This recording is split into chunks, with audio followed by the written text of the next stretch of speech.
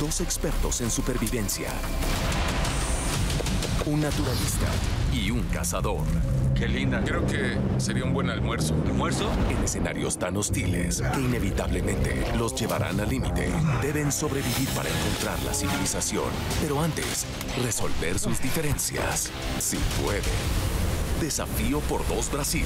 Nueva serie. Lunes 24 de abril a las 9.45. Solo en Discovery.